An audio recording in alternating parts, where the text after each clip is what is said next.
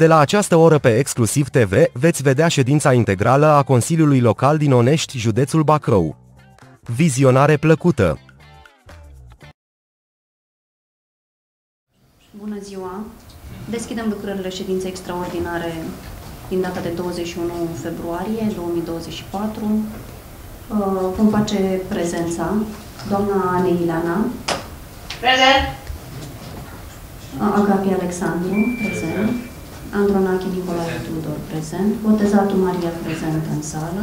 Bujor Dumitru, prezent în sală. Cimpoieșu Gheorghe. Prezent. Bună ziua, domnul Cimpoieșu. Uh, Bună Domnul ziua. Sergiu- Domnul Sergiu Mihail, prezent în sală. Dobra Costel, prezent în sală. Doi- Doamna Doileț, Prezent. Dumitru Mihai. Uh, Jilcu Adrian este prezent. Jitaru Adrian. Prezent. Maxim Miluță este prezent, domnul Miluță. Moraru Marian Dorin. Domnul Moraru? Nu-l vedem. Mai așteptăm un piculeț. Orhean Ionuț. Prezent. Popescu Carmen, am văzut un online prezentă. Roșca Sorin. Sergentul Adrian. Prezent. Sticlarul Dana Cerasela. Doamna Sticlaru, Da, prezent. bună ziua.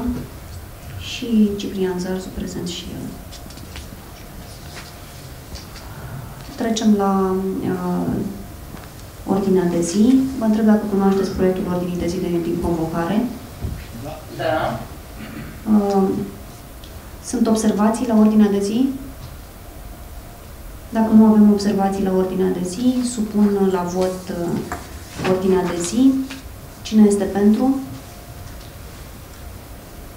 Ce avem în sală?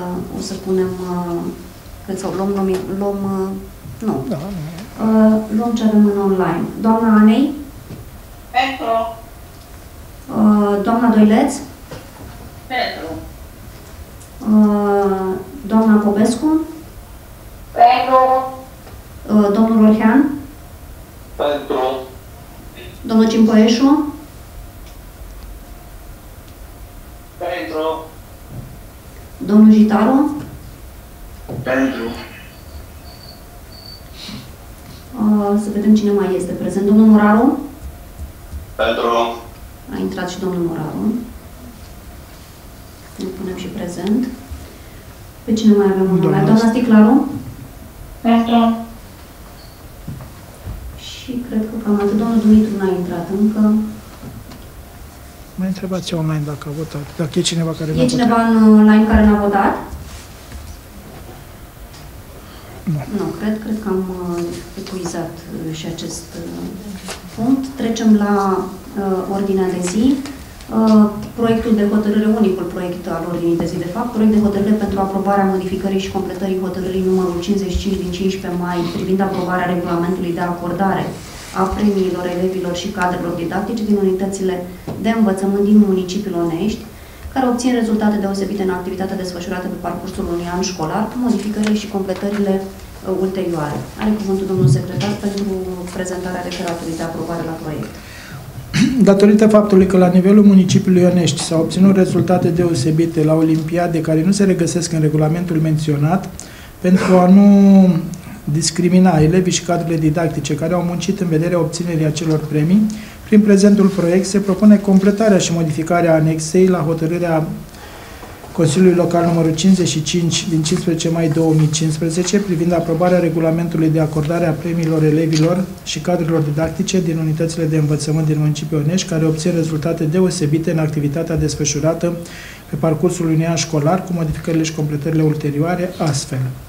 Se aprobă modificarea și completarea articolului 2 la anex, al anexei la hotărârea 55 per 2015 după cum urmează.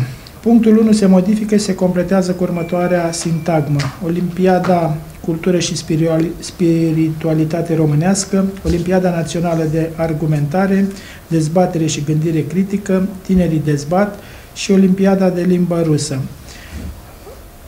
Punctul 2. Se modifică și se completează cu următoarea sintagmă. Olimpiada de creativitate științifică, Olimpiada de astronomie și astrofizică, Olimpiada de informatică aplicată ACADNET. Face mențiunea că celelalte prevederi ale hotărârii nu se modifică. În față de cele arătate, vă rugăm să aprobați proiectul în forma prezentată. Dacă avem discuții pe marginea proiectului de hotărâre, Avizul a, comisiei. avizul comisiilor. Comisia, cred că avem comisia 4, 3 și C1, C3, domnul și C4 favorabil. Dacă nu avem, aveți... Da. Domnul primar, vă rog. Mulțumesc, doamna președinte.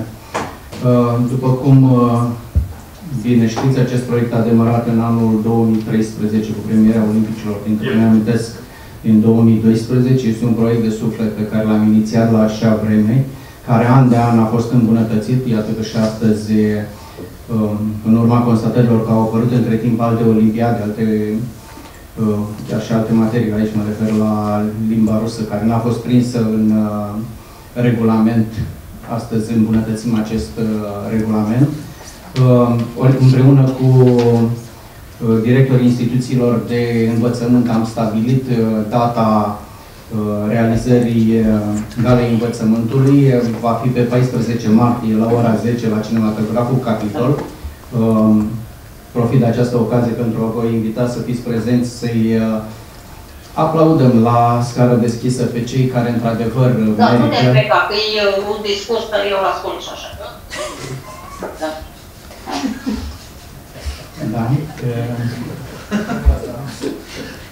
Se votează După cum partidul. știți, au, am discutat pe tema premierilor în urmă cu o ședință când am uh, vrut să modificăm regulamentul, numai că uh, atunci l-am retras uh, pentru că nu puteam schimba regulile jocului în, în timpul, în timpul uh, jocului. Uh, nu avem, uh, legislația în acest an nu ne permite să acordăm uh, premii uh, la participanți, doar pentru participare, ci doar pentru uh, distinții.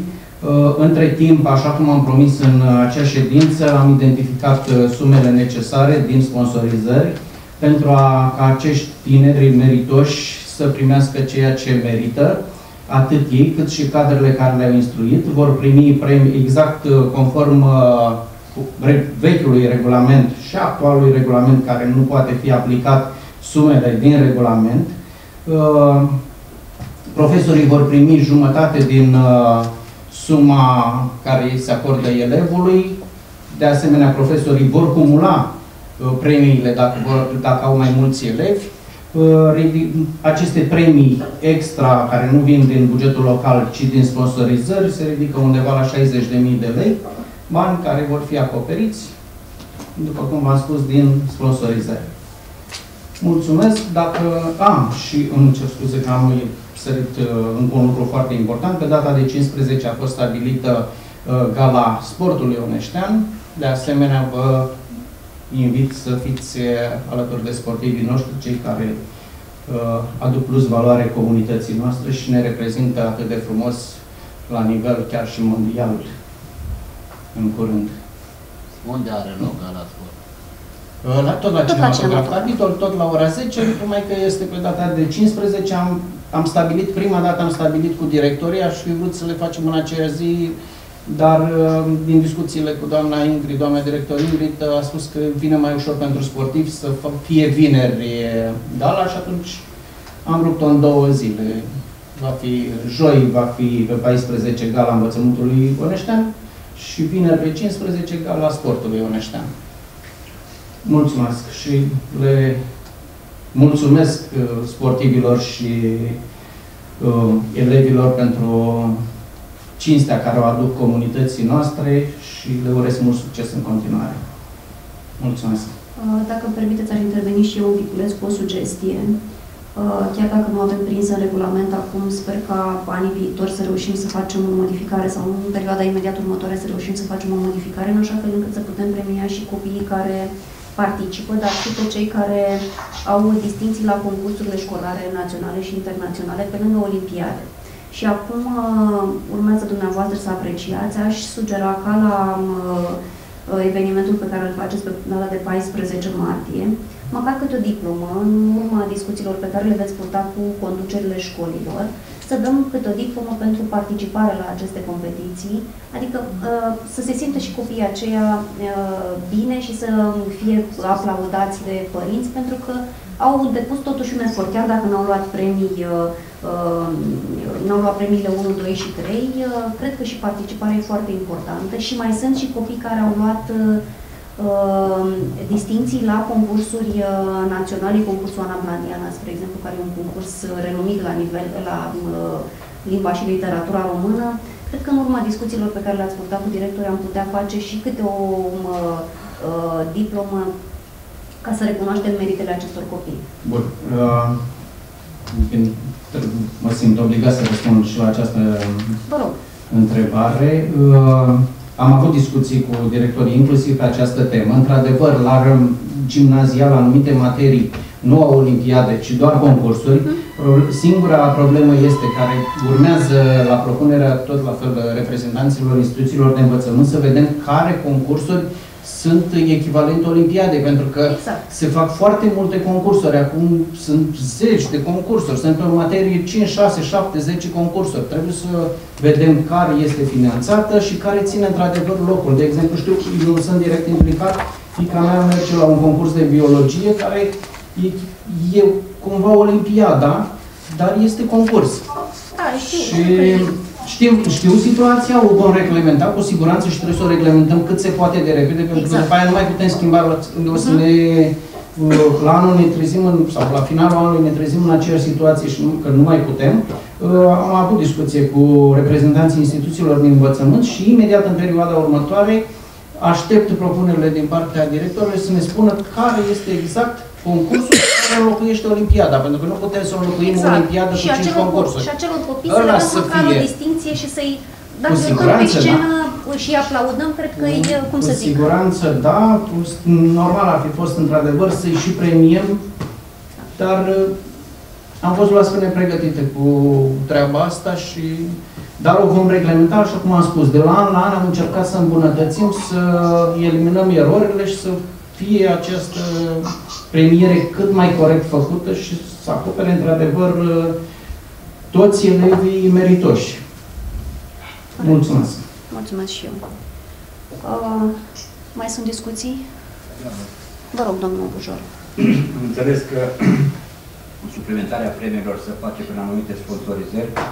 Aș vrea ca numele Consiliului Local să mulțumim acelor sponsori și poate, domnul primar, ar fi bine să nominalizați unul, doi sponsori care au participat la cu sume la aceste premieri. Mulțumesc!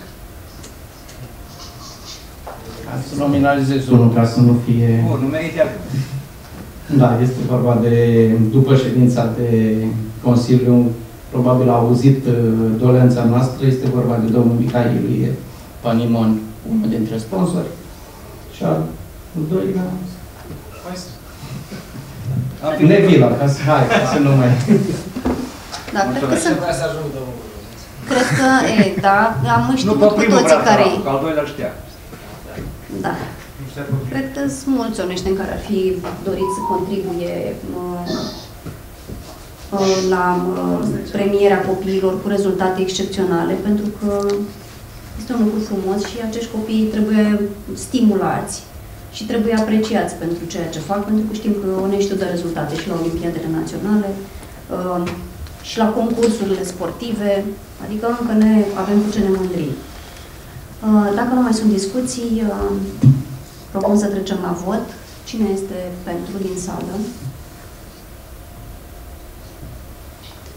Trecem la vot la persoanele aflate în online.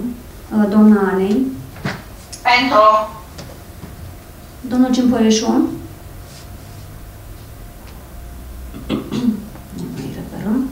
Doamna Doileț? Pentru. Uh, domnul Jitaru Adrian? Și domnul Dumitru a intrat. Pentru. Uh, domnul Dumitru? Pentru. Uh, domnul Moraru? Pentru. Orheana Nuț Pentru. și doamna Sticlaru Dana Cerasela. Pentru. Popescu Carmen. Pentru. Cred că atât. Mai e cineva online care nu a votat? Hmm? Mai strigați pe domnul Cimpoieșu. Cred că pe domnul Jitaru, a, ba da, domnul Jitaru a votat, domnul Cimpoieșu, mai întreb o dată. Nu mai este conectat. Um, Date fiind acestea, uh, trecem la proiectul 2 al uh, ordinii de zi. Uh, Probleme de interes local uh, diverse. Dacă are cineva de uh, comunicat câte ceva, vă rog. Dacă nu, declarăm închise lucrările ședinței extraordinare din data de 21 februarie. Vă doresc după masă frumoasă și să ne vedem bine.